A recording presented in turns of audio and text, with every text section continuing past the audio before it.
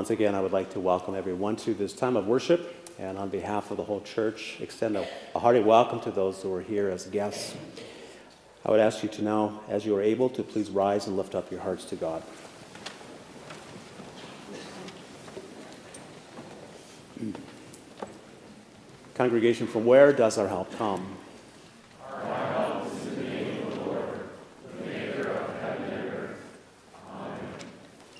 Grace, mercy, and peace to you from God our Father and from the Lord Jesus Christ in the fellowship of the Holy Spirit. Amen. Let us sing together about the holiness of our God in the words of hymn 5.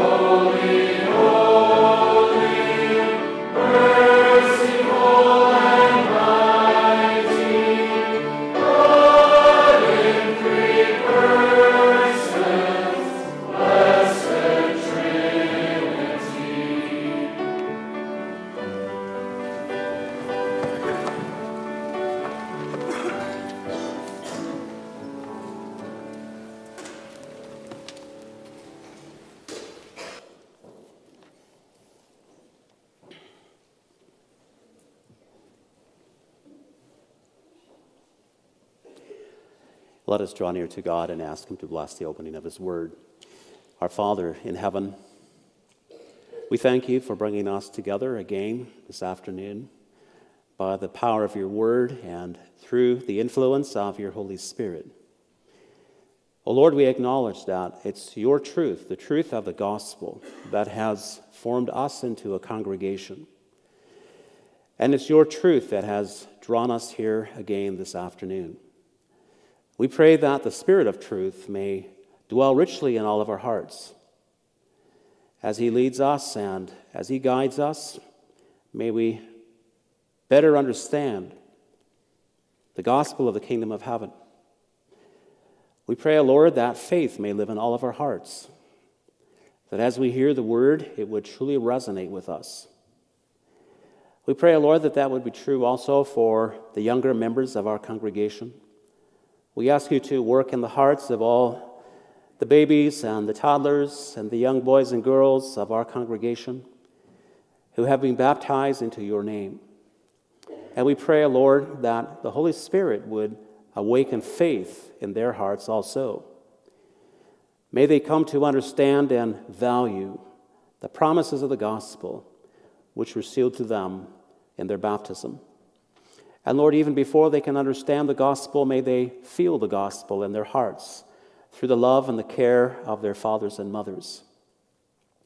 Lord, we pray for a work of your Spirit in the lives of all who are called to the office of being fathers and mothers.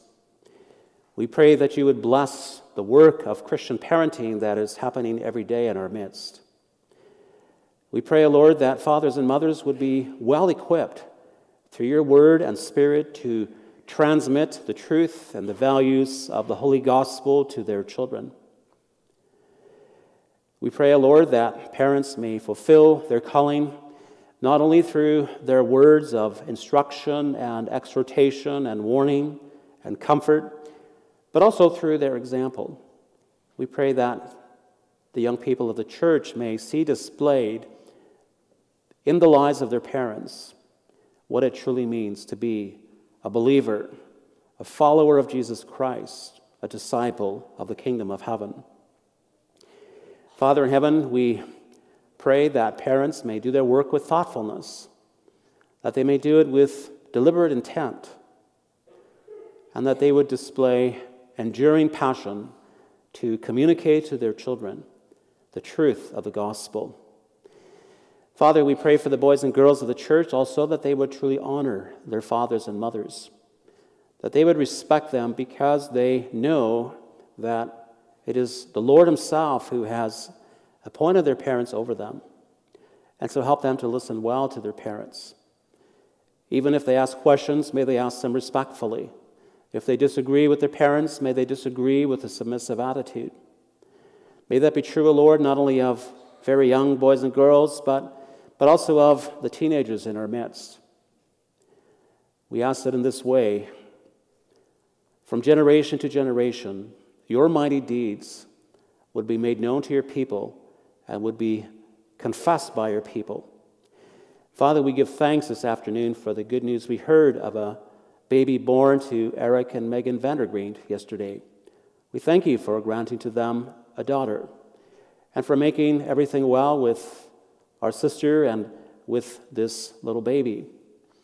Father, we marvel at your gift of life, and we pray that you would give to our brother and sister everything they need to bring this child up together with their sons in the knowledge and fear of the Lord, with respect for the gospel of Jesus Christ. We look forward to the little child's baptism, and we pray that in due time we may indeed witness that blessed event. Father, give us now ears to hear what your Spirit says to the churches. We pray that we may hear not just with our physical ears, but with our minds and with our hearts. And we ask, O oh Lord, that what we hear may become part of our lives.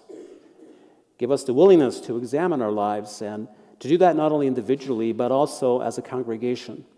May we, O oh Lord, as a Christian congregation, always be ready to amend our lives May we be ready to be changed and to conform our lives more and more to your revelation in Jesus Christ. Father, give us a good and blessed service, one in which your name is honored and glorified, and one in which we, your people, may be mightily strengthened.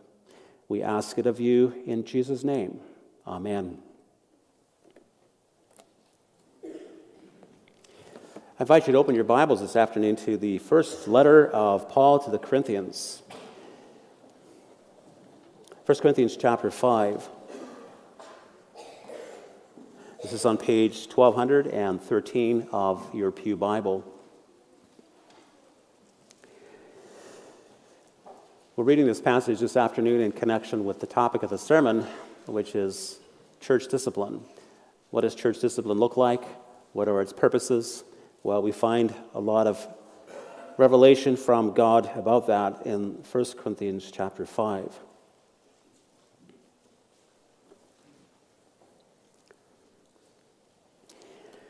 This is the word of the Lord. It is actually reported that there is sexual immorality among you, and of a kind that is not even tolerated among pagans. For a man has his father's wife, and you are arrogant. Ought you not rather to mourn? Let him who has done this be removed from among you. For though absent in body, I am present in spirit, and as if present, I have already pronounced judgment on the one who did such a thing. When you are assembled in the name of the Lord Jesus, and my spirit is present with the power of our Lord Jesus, you are to deliver this man to Satan for the destruction of the flesh, so that his spirit may be saved in the day of the Lord. Your boasting is not good. Do you not know that a little leaven leavens the whole lump? Cleanse out the old leaven, that you may be a new lump, as you really are unleavened. For Christ, our Passover lamb, has been sacrificed. Let us therefore celebrate the festival not with the old leaven, the leaven of malice and evil, but with the unleavened bread of sincerity and truth. I wrote to you in my letter not to associate with sexually immoral people, not at all meaning the sexually immoral of this world, or the greedy and swindlers or idolaters, since then you would need to go out of the world. But now I am writing to you not to associate with anyone who bears the name of brother if he is guilty of sexual immorality or greed, or is an idolater, reviler, drunkard, or swindler, not even to eat with such a one. For what have I to do with judging outsiders? Is it not those inside the church whom you are to judge? God judges those outside. Purge the evil person from among you. So far, the reading of God's holy word. Let us sing now about the holiness of God's congregation in the words of Psalm 15, stanzas 1, 2, and 3.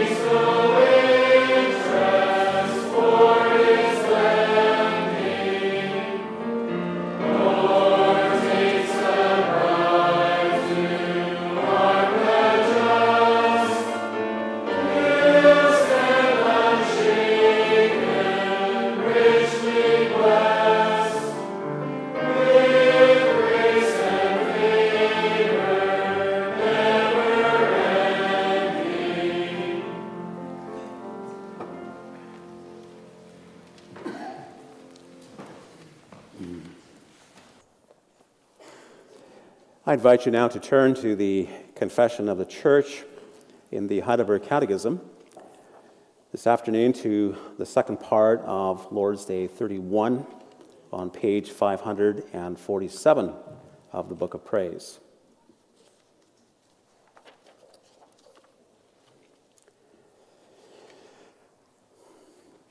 Just to get the context, we'll read again question and answer 83. What are the keys of the kingdom of heaven? The preaching of the holy gospel and church discipline. By these two, the kingdom of heaven is open to believers and closed to unbelievers. And then last time we gave our attention to the preaching of the gospel as a key of the kingdom of heaven. And today, number 85 How is the kingdom of heaven closed and opened by church discipline? According to the command of Christ, people who call themselves Christians but show themselves to be unchristian in doctrine or life are first repeatedly admonished in a brotherly manner. If they do not give up their errors or wickedness, they are re- reported to the church, that is, to the elders. If they do not heed also their admonitions, they are forbidden the use of the sacraments, and they are excluded by the elders from the Christian congregation and by God Himself from the kingdom of Christ. They are again received as members of Christ and of the church when they promise and show real amendment.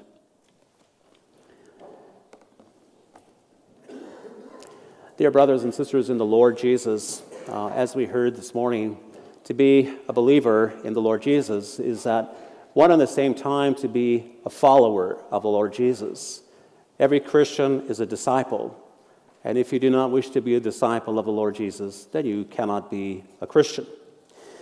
This morning in Matthew 10, we saw particularly just how all encompassing the call to discipleship really is. The Lord Jesus Christ taught us in that chapter that to be a disciple is really all or nothing. You can't be a partial disciple, you can't be a part time disciple, you can't be a sporadic disciple. If you are a disciple of the Lord Jesus Christ, that means your entire life is called into the service of your Lord and Savior, and you want to consciously, deliberately, purposefully bring your entire life into submission to Jesus as your King. He's your Redeemer, He's your Savior, He's the one who died for you, but He's also the ruler of your whole life. Now, as you can know and testify from your own experience, learning to be a disciple is pretty challenging. Nobody learns to be a disciple in one day or one week or even one year. Learning to be a disciple is an ongoing part of the life of every Christian. And there are many factors that the Lord Jesus Christ uses to nudge us onward in our discipleship journey. Some of them are very familiar to us. We realize that we, we can't be faithful disciples without prayer. We know that it's impossible to be growing as a disciple if you're not busy with the Word of God. We know that we need to be part of the worship of God. We also can recognize the role of Christian fathers and mothers in nurturing discipleship in the hearts of their children. There are Christian schools. You can think of Christian schools in many ways, but one of the ways in which you may think of them as they're part of, part of that whole network of interrelated factors that promote discipleship. They help boys and girls and young people to grow up to be consciously committed to Jesus Christ. This afternoon in Lord's Day 31, there's another factor put before our hearts and minds that Jesus Christ has given us to nurture discipleship. It probably hasn't escaped your attention that the word discipline and the word disciple are related. They both come from the realm of education, and both these words have to do with forming a person. We discipline, we disciple. Those two aspects go together. And so I put it to you this afternoon that church discipline, far from being this this awful phenomenon that happens in fundamentalist churches involving terrible things like shunning and so forth. Actually, church discipline is a gift of Jesus Christ to help us in our journey of discipleship. And so I want to bring the Word of God to you this afternoon with this theme Church discipline keeps God's children on the, on the track of discipleship. That's the main idea that we'll focus on this afternoon. Church discipline keeps God's people on the track of discipleship. And we'll consider, first of all, the when of church discipline, then the how, and finally the why. First, then the when of church discipline. Well, Day 31 consists in part of a paraphrase of Matthew 18, verses 15 through 20. In Matthew 18, in this famous chapter about church discipline, the Lord Jesus Christ says, If your brother sins against you, go and tell him his fault. That's how it reads anyway in the English Standard Version that we use in our church. But it's interesting that if you go to some other Bible translations, you will see that it's worded a little differently. It says, for example, in the, New American Standard Bible, if your brother sins, go and tell him his fault and the words against you are missing. So Jesus is speaking in Matthew 18 not only of cases where someone sins against you, but he's speaking in a more general way of situations where somebody is sinning, where somebody is living, in the words of the Catechism, a life that is not Christian. When someone is sinning, whether they're sinning directly against you or whether they are sinning in a more general way, not involving you, then says the Lord Jesus Christ, you can't ignore that. You need to go and, and tell your brother or sister their fault. Now, what our Lord says in Matthew 18 is, is very clear. But having said that, it does raise some important questions as well. For example, I think of a passage such as 1 Peter 4, where in verse 8 we read, Above all, keep loving one another earnestly, since love covers a multitude of sins. And that's a little bit disconcerting when you've just read Matthew 18, verse 15, when your brother sins or your sister in the Lord, then go and tell him his fault. And 1 Peter 4, verse 8 says, Love covers a multitude of sins. So, how, how does that work together? When does the process of Matthew 18 kick in? And and when, on the other hand, do you just overlook and cover the sin of the person who's sinning? When do you feel God calling you to go and, and deliberately intervene? And when do you just say, well, you know what, that's, that's not right, but that's just Christian weakness and, and I'm not getting involved? Well, to answer that question, it is certainly not the case that the Lord Jesus Christ wants you to get involved in the life of your brother or sister every single time you notice some type of sin. That's not what Jesus is saying. It is indeed the nature of love to overlook and to cover many sins. Minor sins, I would say. The minor sins of daily life, the minor sins of weakness that we all reveal in our thoughts and words and in our deeds when you're experiencing these minor sins of weakness that just belong to life of, of all Christians, then the operative rule is not go and tell your brother his fault. Then the operative rule is love covers a multitude of sins. Now, sometimes it's really tricky to know the difference. And so let's try to work that out a little bit. What sort of weaknesses should you be ready to just overlook for the sake of love? And which require you to boldly intervene. What happens, for example, if a fellow Christian or, or family member displays to you in a certain situation impatience? Impatience is a sin, isn't it? The Bible teaches very clearly that love is patient, and therefore a lack of patience is a failure of love and it's a sin. But does that mean that every single time somebody is impatient with you. Maybe, maybe a couple's heading out the door and the husband is impatient with his wife because she's not ready on time. Well, I would put it to you that that's the kind of situation that the Bible says you, you cover those things in love. You just let it go. You overlook it for Christ's sake.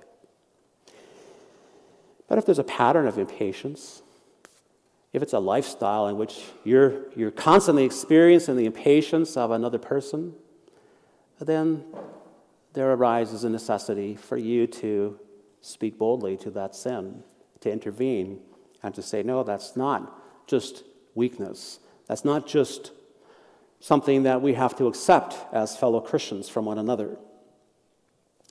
Or if somebody says a sharp word to you in an argument, I don't think you right away have to invoke Matthew 18. But if they're always saying sharp words to you and it's a pattern and you're always on the receiving end of their little outbursts of anger, well, that's, that's beyond just a sin of weakness. That's an entrenched sin, And then your duty becomes to intervene boldly according to Matthew 18. More examples. Let's suppose you're at a party and there's somebody there, a fellow partier, and you can tell by 10:30 at night that that person's had one drink too many. Are you required to immediately intervene and phone that person up the next morning and say, you know, I have to come and speak a word to you? Or do you chalk it up to immaturity and lack of judgment? I would suggest probably the latter. Probably the latter. You just chalk it up to immaturity and judgment. But if it happens again next week, and then the week after that, then, then some red flags are starting to go on up, and then the Lord Jesus Christ is calling you to intervene boldly with your brother or sister. Why? Because they are straying from the path of discipleship, because they are not just showing weakness, but they are living unchristianly. Now, sometimes people might respond to this by saying, but, but aren't all sins equal? And I would say, no, they're not. All sins are not equal. Sins are very different. Some are sins of weakness, some are very severe sins of deliberate rebellion against God. They're not the same. Sins have differences between them. Yes, every sin has a similar component in that every sin is a failure to fully honor God, but it's a fact that some sins are more egregious than others. Some sins can be covered in love, and some sins cannot be covered in love, but some sins need to have the response of you consciously, deliberately communicating your concern. Now, it's also worth saying that the sorts of sins that the Lord Jesus has in mind in Matthew 18 are, are not just moral transgressions. I think that's a really important point to make. It's not just moral failures that Christ has in mind here. The Lord Jesus Christ is thinking in a very broad way about sin. He's thinking about sins that are moral, but sins also of the mind, sins of doctrine, sins of what you think. For example, let's suppose it happened that at, at Bible study, somebody articulated the idea that in the end, at the last judgment, every single human being will be saved. Now, you might think, well, that's a crazy idea for any Christian to hold, but in fact, in, in the broader Christian world, there are plenty of people who embrace this error of universalism. They believe that in the end of days, the last judgment, every single person, whether they consciously had faith in their life or not, will be covered by the blood of Jesus Christ and will be saved and will enter the kingdom of God. So someone's saying this at Bible study and articulating this quite forcefully, and they won't back away from it. Well, you know, that's a, that's a sin because that's a teaching that goes directly against the Word of God. And then your duty is not to ignore it, not to pretend you didn't hear it, but your duty is to go to that person and have a brotherly conversation, a sisterly communication with that individual, and try to press upon them the seriousness of this doctrinal error that they are wanting to espouse in the body of Christ. So that's a little bit about the when of church discipline. Let's go on to move to the how of church discipline. Well, staying with Matthew 18, referred to here in Lord's Day 31, the, the initial principle that Jesus Christ wants us all to work with is that in church discipline, when we are communicating concerns about the life, the conduct, and the, and the beliefs of a fellow member, the principle is to keep the circle as small, as tight as possible. And that's why Jesus says, if anyone sins, go and tell him his fault between him and you alone. Just go and tell that person in all privacy, in all confidence, about the concerns you have regarding their life or their conduct. Now, sometimes we can speed church discipline up a little bit. For example, if something is a public scandal in the body of Christ, if there's some sin that is far from hidden or private or only known by a few, if the sin is known by the community as a whole, then we don't have to go through all the steps of Matthew 18. But then the requirement is speedy intervention by the whole body of Christ and also by the leaders of the body of Christ. But going back to situations where the sin is less known and is perhaps known only in a small circle or only by you, then Jesus says, listen, keep the circle small, keep the circle tight, The one thing you may not do, you are forbidden to do, is to go and talk to all and everyone about your concerns, about the lifestyle or the doctrinal errors of a fellow member. Jesus says, You may not do that. And when you do it anyway, do you know what you're doing? You're gossiping. You see, gossiping isn't only the telling of lies about other people, gossiping is often the telling of truth about other people, but telling it in context where you're not supposed to be telling it. And I would say that gossip is the lazy man's answer to church discipline. It's, it's the coward's alternative to church discipline. Because you know, it doesn't take any courage at all to gossip. You'll always find people ready to hear gossip. Somehow we're wired that way, and it's one of the most perverse aspects of human beings that we love to hear bad stuff about other people. But gossiping is a sin. And it's the devil's alternative and the coward's alternative to church discipline. Sometimes it happens that when we have concerns about someone else in the body of Christ, then we talk to just about anybody except that person. And you know what that actually means? It actually means you're not that concerned about that person. You're not that concerned. You're pretending to be, and you act like this is a big deal, but you're not even concerned enough to give them a phone call and take them for coffee and tell them of your, your, your fears about their conduct or their doctrine. And so you don't really care about them. You care more about your ability to create a, an impression because it creates an impression when you've got a story, the juicier the better, to share with other people. That creates an impression, and you always have people eating out of your hand to hear such stories. Um, then you don't really love the person you're concerned about. You're just a fraud. You're a fake. You're not really concerned. Instead of gossiping, says Jesus, we are to go to directly meet up with the person whom we're concerned about, and with great humility and much prayer, we are to tell them their fault. And I would say to you, when you are in that stage of church discipline, then also be very ready, be very ready to hear the other side of the story. Because you know, sometimes when you actually talk to a person and you share with them your concern, then just like that, in a few moments of conversation, you get a totally different impression. Because you are unaware of extenuating circumstances, you are unaware perhaps of the context, or perhaps you misread a situation. You thought you heard something that actually you didn't hear, or you thought you saw something that you didn't actually see. And so when you go to tell a brother or sister their fault, go with an awareness and a, a readiness to admit that maybe you had it all wrong. Maybe you had it all wrong. But if your facts are correct and they're not challenged, and if there really is sin involved, then you must go forward with your exhortation, your admonition, your warnings. And you do that, of course, with the, with the great longing that the person would listen to you. That's what Jesus says in Matthew 18. If he listens to you, then you have gained your brother or sister. However, sad to admit, and we all know this from experience, listening does not come easily to any of us. The vast majority of human beings are not good listeners at all. And that includes every one of us here. By nature, not one of us are good listeners. What happens when people want to challenge us or correct us, even if they come with humility and gentleness? what happens is that we tend very quickly to become defensive. We engage in denial. Instead of dealing head on with what's being said to us, we do anything to avoid it.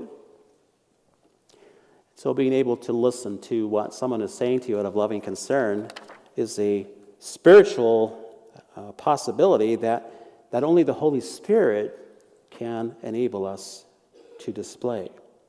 See, when the Spirit of God is working in your heart, and you are full of the Spirit, and you are humble, then your first concern is not going to be to somehow protect your image. Your first concern is going to be the glory of Jesus Christ and his image being formed in you. You see, when you are living a truly Christ centered life, when your greatest desire in life is not to have everybody in awe of you, and to be amazed by your Christian walk, when your greatest desire in life is that Jesus Christ would be honored, then you know what it really should be like? It should really be like this. And maybe this seems like a totally impossible ideal, but I'll put it out there anyway. It really should be like this that when people come to you and express a concern to you, that you would say, Dear brother, dear sister in the Lord, thank you. Thank you for coming to visit me. And thank you for expressing my or expressing your concern about my, my, my lifestyle or, or my thoughts or some specific words that I've said. Can you imagine being a person like that? That would welcome criticism? I read the other day about a young hockey player who said that he welcomed criticism because he wanted to be the best hockey player he could be. And so he welcomed the criticism of his coach. He welcomed the criticism of the older players. He welcomed the criticism of the media because he wanted to learn from this criticism to be the best hockey player he could possibly be. And he knew that he couldn't be the best hockey player he could be without criticism. And so when people come to you, not with criticism, but with loving concern and care, should we all aspire to become the kind of people who would say, Lord Jesus, thank you for placing me in a congregation where there are people who actually care that much about me, that they would get out of their comfort zone and do something potentially dangerous to speak to me about my life, about my thoughts and my deeds. That would, that would be a real expression of wisdom, wouldn't it? A wise man always desires to be wiser, says the proverb. And would that we were all wise men and wise women. But the fact is, we're not all very wise persons. And so when you do bring a word of exhortation to a fellow member of the body of Christ, they're not always going to say thank you very much. Sometimes they're going to do all the things we've already identified. They're going to deny, they're going to make excuses, they're going to minimize, they're going to pretend it's no big deal. And they're going to do everything possible to, to not engage with you about the issue at hand. Well, says Jesus, when that happens, then you need to escalate the situation. Then the circle gets a little bit wider. It's not so tight and narrow anymore. Then you bring two or three witnesses, says Jesus. And these don't necessarily need to be witnesses to the actual sin that was committed, but they need to be witnesses to the exhortation that is being brought. They are there to intensify the pressure. So, for example, let's suppose you bring a concern to somebody and they brush it off and say, I don't know why you're talking to me about this. This is no big deal. And they try to act like, oh, this, this is just normal. This is just what Christians are, are like. Then you bring along two or three witnesses. And these two or three witnesses can, can verify the, this, the critical nature of the issue. And they can make it much more difficult for the person to just brush off your concerns. Try to imagine this. Try to imagine what it would be like to have not just one person, but two or three coming to your front door and entering your house and trying to call you out on some sin in your life. You would think that would make a big impression on you. You would think that. You would think that, of course, of course, Christians are going to listen to other Christians when they come with that level of concern. And thanks be to God, they sometimes do. Maybe even quite often they do. Maybe quite often they, they may not appreciate it right away, but maybe after a week or two or a month, they might get back to you and say, You know, I really appreciate that you came and expressed your concerns, and I've taken them to heart. Thanks be to God that that happens. But there are some times when people don't take those concerns to heart, even with the escalation of two or three witnesses. And then says the Lord Jesus, you are to ramp up the pressure even more. You are to tell it to the church. And what does that mean? Well, it doesn't mean you come here on Sunday morning and start blabbing about it to everybody in the church hall. It means that you approach the leadership of the church in a formal way and let them know what has happened and what you have been doing about what has happened and what the outcome has been. Church leaders will probably ask you a few questions like, So tell us exactly in what way you have engaged this brother or sister. How have you attempted on your own to, to communicate your concerns to this person? Because the church leaders know they ought not to be involved prematurely. And sometimes they might say, you know what, I, I really think you need to go and, and have a conversation again with this person. But if the church leaders are convinced that you have done everything the Lord Jesus Christ lays upon us in Matthew 18, then they will take on the matter they will make a visit. Sometimes they will make two, sometimes they'll make five, sometimes they'll make 25. I know one church leader who made 99 visits in a matter of Christian discipline. 99 times he went to seek out that straying sheep. Incredible. It's an incredible level of commitment because every time he, he, he hopefully discerned a softening, he hopefully discerned a little bit of listening, the little bit of beginning of repentance. And so he went again, and he went again and again, over and over and over. And when the work of the elders does not bring about the desired fruit, then, says the Lord Jesus Christ, you are to consider him, that person, that sinner, whether male or female, you are to consider him or her as a Gentile and as a tax collector. And you know what that means? That's a sharp way of saying you are to consider that person to be, from now on, an outsider to the body of Christ. And that has some pretty severe repercussions. If someone is excommunicated from the church, they're still welcome to attend here. And if they want to, we should never discourage them. We should even invite them to the worship of God. But they may not partake of the sacrament of the Lord's Supper. If children are born to them, they may not have their children baptized. If there's a congregational meeting, they may not vote. They have lost the privileges of membership in the body of Christ. Now, sometimes it happens, and I think in, in our modern era, this, this happens almost invariably. Before someone is actually excommunicated, they, they send a letter, maybe even just one brief line to the leadership of the church. I hereby withdraw my membership from the Aldergrove Canadian Reformed Church or whatever other church they may be member of. They say thereby that they don't want to belong to the church anymore. They don't want to be part of the body. Well, I would say to you that if these people are withdrawing their membership while they are under the discipline of the church, then they are excommunicating themselves. And then you are to regard them exactly as an excommunicated person. You are to regard them as a Gentile and a tax collector. In other words, as a non member, a non member of the body of Christ.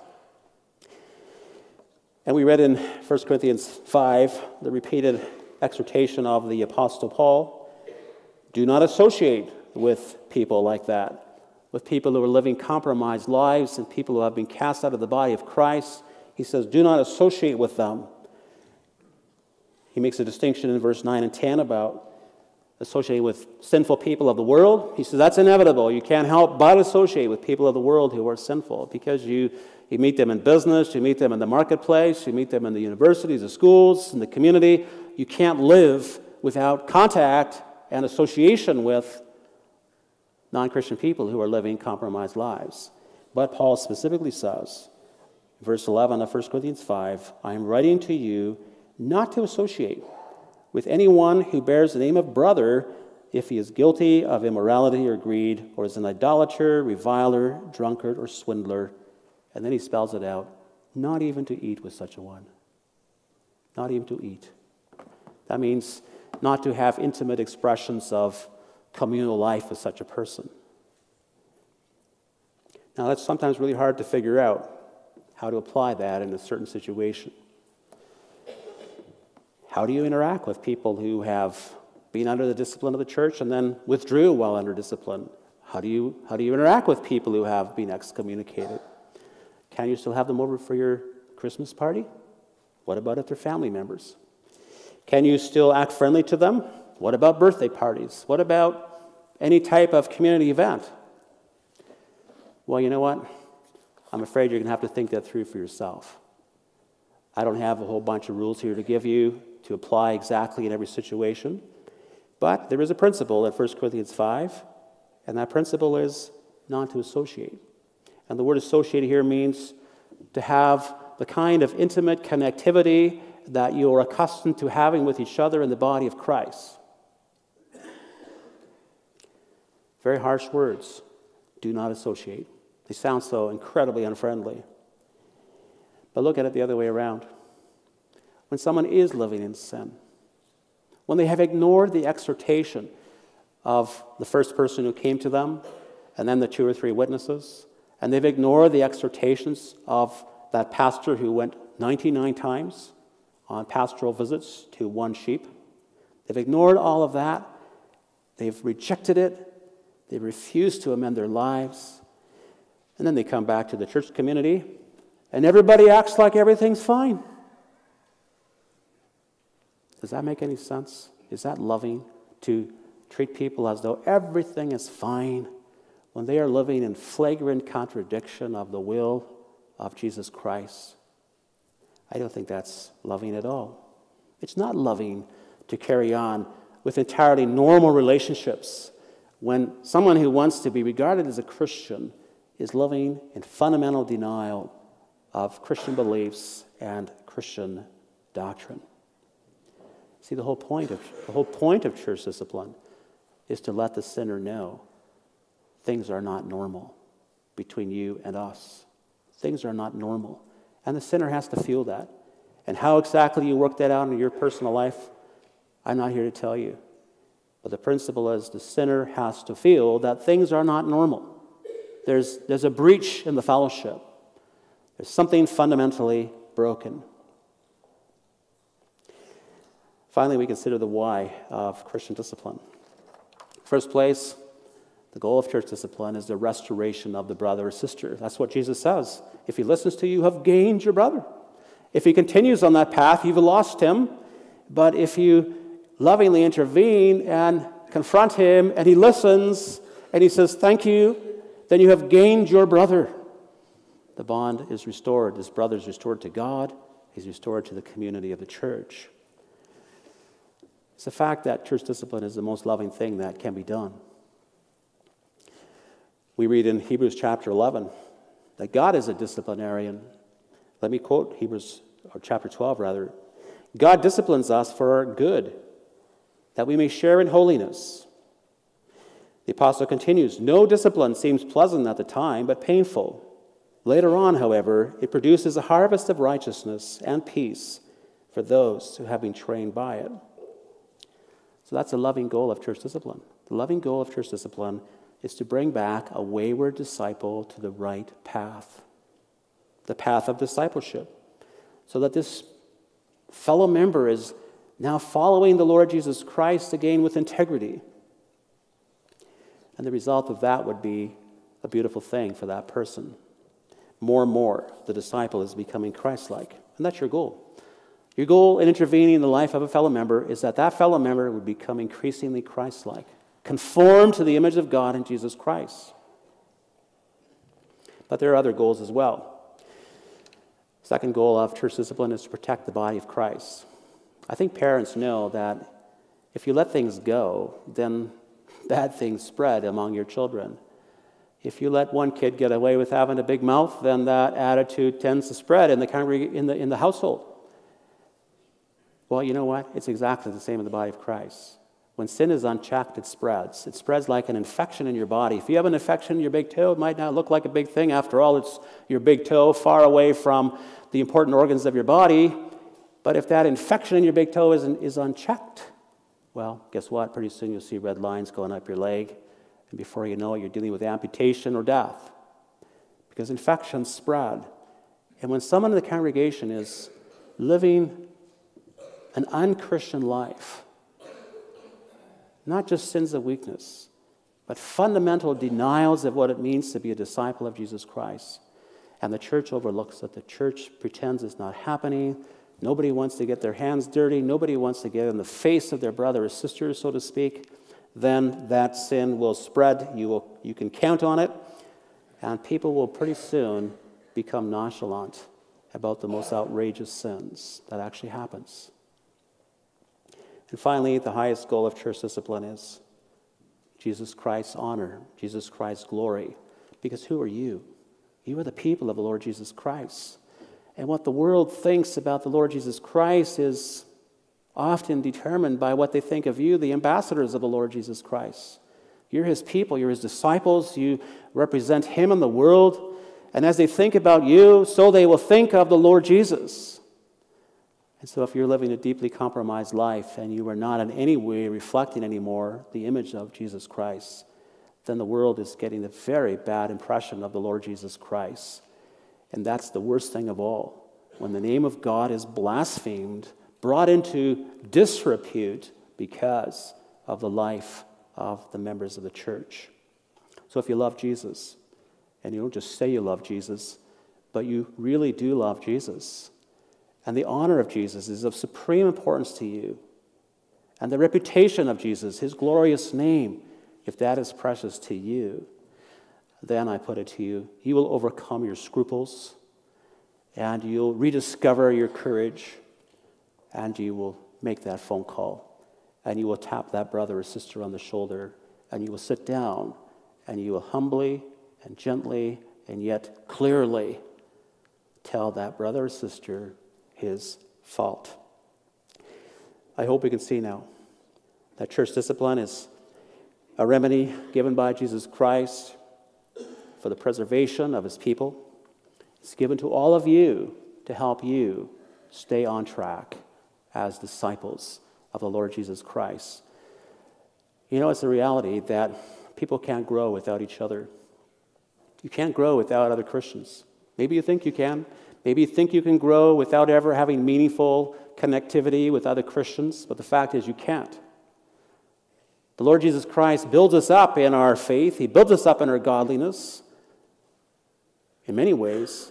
And one of the prime ways is through the gift of each other. Through the gift of each other. He gives us each other to watch over one another. It's the kind of language that's very common in the Bible watch over each other. And that doesn't mean to micro scrutinize every step of your brother or sister's way, but it means to live with awareness and, and to discern things that are obvious and not to overlook them. So instead of seeing church discipline as something odious, something that only weird fundamentalist churches still practice, let's take it as part of the revelation of God and let us take it as a gift of Jesus Christ that we all benefit from when we apply it faithfully. It's a necessary tool to help us grow as disciples of the Lord Jesus Christ. That's the blessing. The blessing and not the curse of church discipline. Amen.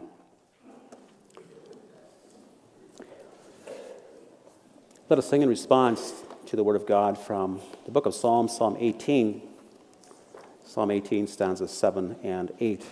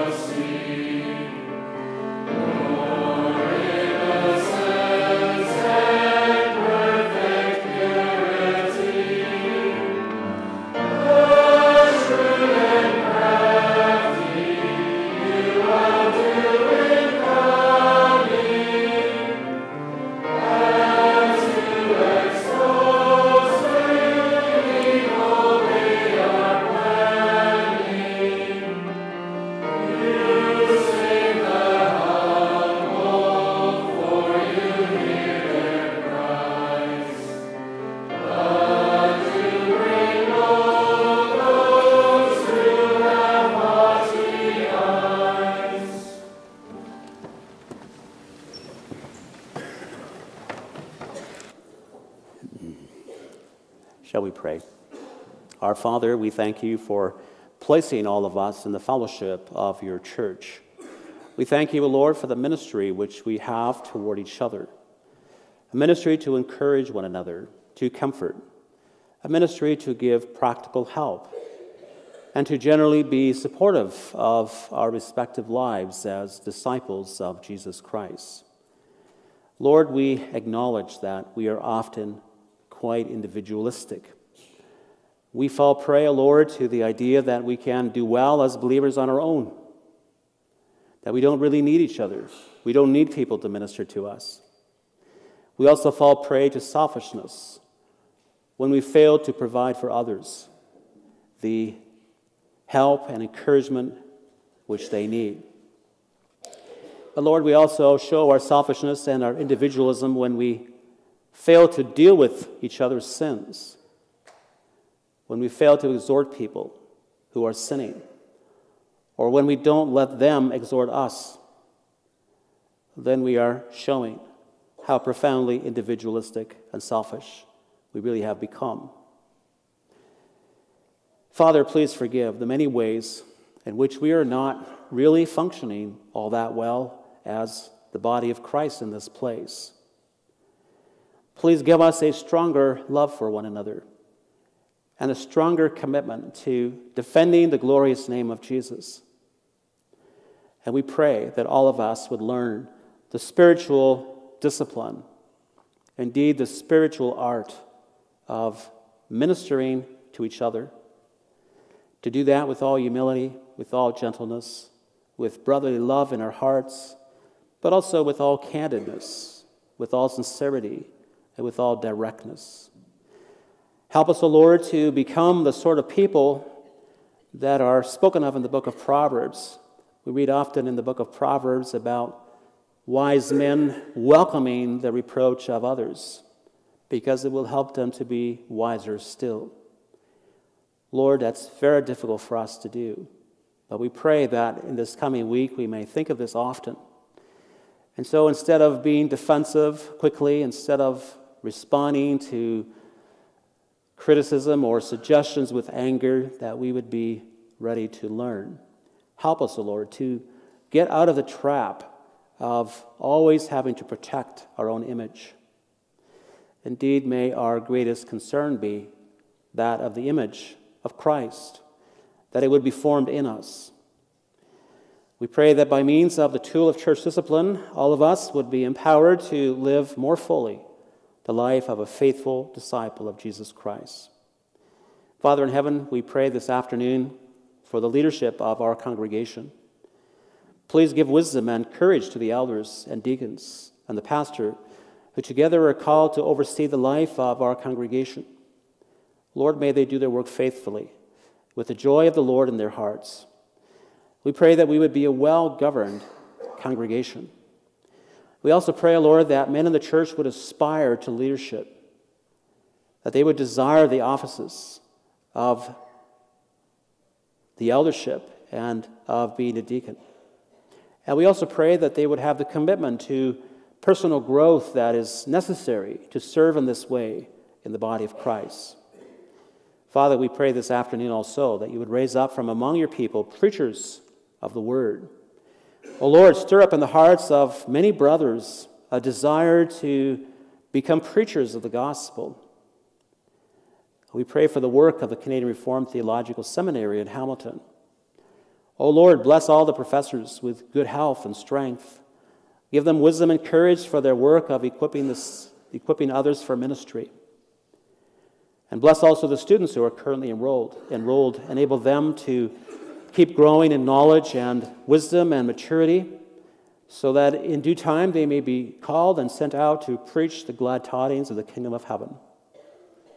Heavenly Father, bless also the Board of Governors, which on behalf of all of the churches oversees the work of the seminary. Give the board the vision and the wisdom it needs to help the seminary to be faithful and to keep growing and serving the community which supports it. Lord, as we're soon to go home now, we will begin thinking about the week that lies ahead of us. We'll soon be thinking about our work for the coming week. We thank you for the work which you have given us to do. And whatever you put before us, O Lord God, may we do with all of our heart, recognizing that in Jesus Christ our labor is never in vain. May our work bring benefit to our neighbors. May it help to promote justice and peace and well being in our community, in our nation. We pray also, Lord, for Christian schools. We pray for education, the education of our children, that it would truly be anchored in the Lord Jesus Christ, the one through whom all things were made, the one also in whom all things hold together. Lord, give parents and teachers and school boards the ability to express and work out in all aspects of schooling a truly godly vision for what education is all about. Father in heaven, bless us now as we go forth to our homes and into the world. Help us to remember that the world into which we are entering is a terrain of mission. And so may we be watchful for every opportunity to speak of the blessed name of Jesus. May we be given many opportunities to share the glad tidings. And when those opportunities come, may we seize them boldly. May we speak freely and confidently about who our Savior is and about what He has accomplished. And we pray that you will use us through our words, through our testimony, and also through our deeds to win many of our neighbors for the Lord Jesus Christ. Father in heaven, grant us a good Sunday evening. We pray this in the blessed name of our Lord and Savior, Jesus Christ. Amen.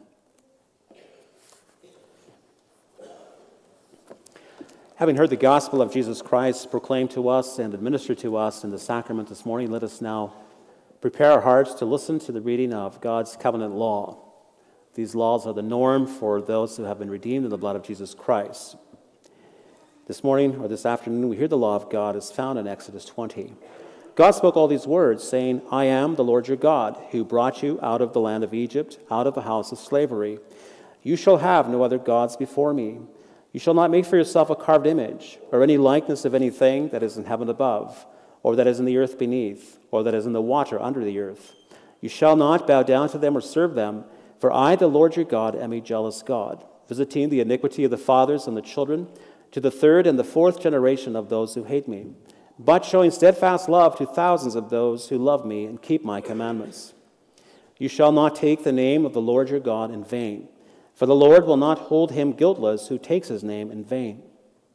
Remember the Sabbath day to keep it holy. Six days you shall labor and do all your work, but the seventh day is a Sabbath to the Lord your God. On it you shall not do any work, you or your son or your daughter, your male servant or your female servant, or your livestock or the sojourner who is within your gates. For in six days the Lord made heaven and earth, the sea, and all that is in them, and rested on the seventh day.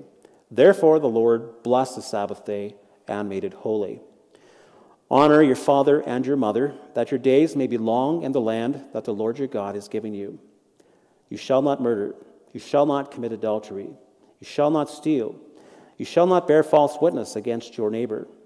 You shall not covet your neighbor's house. You shall not covet your neighbor's wife, or his male servant, or his female servant, or his ox, or his donkey, or anything that is your neighbor's.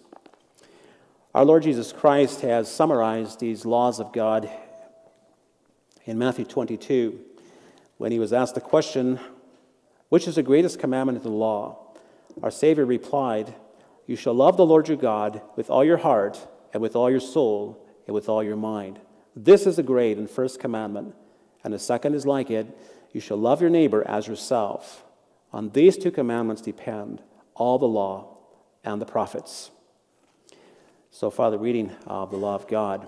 Let us sing in response to the law of God from Psalm 25 and not stanzas 5 through 7. We, we sang stanza 5 this morning. We'll sing instead stanzas 6 and 7 of Psalm 25.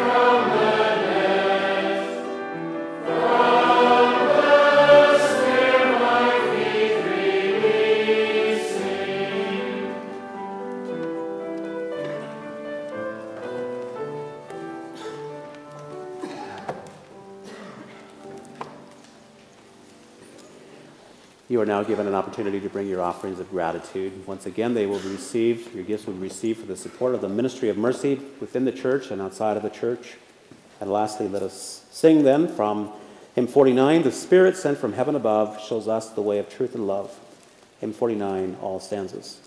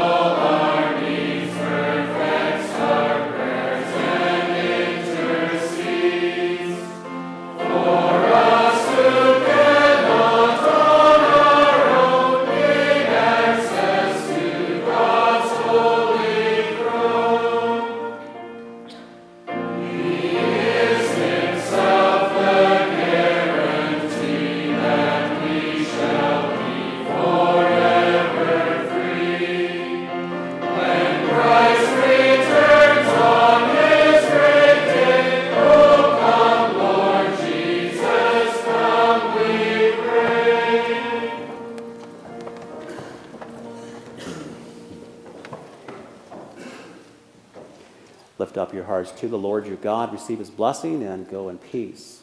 The Lord bless you and keep you. The Lord make his face shine upon you and be gracious to you. The Lord turn his face toward you and give you peace.